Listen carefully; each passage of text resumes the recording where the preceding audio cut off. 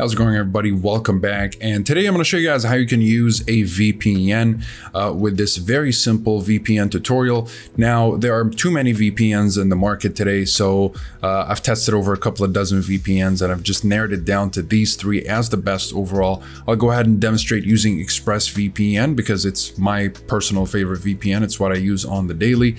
Uh, but again, you have Nord and Surfshark as two other alternatives uh, to ExpressVPN and they're just some of the best VPNs you can find out there. So let's say you've downloaded one of these VPNs. By the way, you'll find links to pricing discounts as well as full reviews in the description down below if you guys are interested. Okay, so ExpressVPN. Now, what you want to do is understand the two features that are available in all these VPNs, and these are two basic security features. Now let's go to the VPN locations. Of course, every VPN is going to have a locations list and ExpressVPNs is sorted by continents. And you have a map design right here with NordVPN and you can also have a list uh, or just search up the list. And the same thing with Surfshark. You don't have a map design, but you do have a list. What you also have is an options menu. And this is where you need to understand what a kill switch is. And uh, ExpressVPN doesn't have many features. It only has the kill switch and split tunneling. Now the kill switch is going to cut your internet connection if the VPN disconnects unexpectedly, making sure that you're only going to be connected to the internet while you're secured by the VPN tunnel in order to prevent any rare IP leaks. Uh, so it's a very useful feature to have in your VPN. Now, split tunneling is going to allow you to choose which applications are routed through the VPN and which are not. So let's say I want to have a couple of applications use the VPN while the rest of my connection is left outside the VPN tunnel. This is a pretty useful feature uh, to have in your VPN. And again, the kill switch, split tunneling, and a handful of protocols are all available in these VPNs. It's just that each VPN may have one or more features a specific feature that may not be available in the other VPN. And that's why I recommend you check the reviews in order to know exactly what you're looking for. Besides that, you've got the protocols. Now, for the most part, you can just leave that on automatic and you're good to go.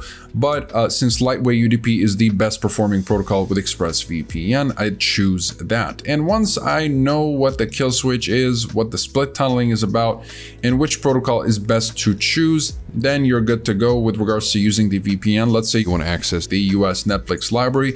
You go to Americas, go to the United States, pick, let's just go with Chicago, for example, turn it on, and that's pretty much it with regards to using the VPN.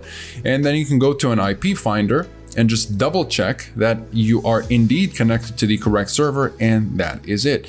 Now, how do you use NordVPN? Again, very simple. Go to settings. Of course, you have bonus features right here. Uh, I mean, I recommend you check the reviews below if you want to understand them, but you want to go to connection and make sure you're using the Nord NordLynx protocol. That is the fastest protocol. Here you have the kill switch if you want to turn it on, but you also have the uh, app kill switch and you have split tunneling and uh, that's all you need to really know about the uh, VPN before you start using it. And once you're good to go, you can just either look up the servers right here on the list or just zoom in and connect to whatever server you want to connect to. Let's just go with the New York server, for example. And uh, once you you select one of these dots, you'll be able to connect to the server. As for Surfshark, it's, uh, you know, you can just go to the settings. Right here, you have the kill switch. You have bypasser, which is the same as split tunneling. It's just called bypasser here. WireGuard is going to be the best performing protocol. Go back to the VPN and just select one of these. And let's just go with um, Toronto, for example, and it will take a few seconds to connect. It's not as quick as ExpressVPN, and that's partly the reason why I choose ExpressVPN over most other VPNs. It's just how reliable and consistent it is, and it's just lightning quick with regards to connecting to uh, their servers. And that's pretty much it for this video. Again, if you guys are interested in learning more about the privacy policy, speed streaming, torrenting capabilities, as well as security and features, you'll find the full reviews down below, and you'll find links to pricing discounts if you'd like to jump straight to those.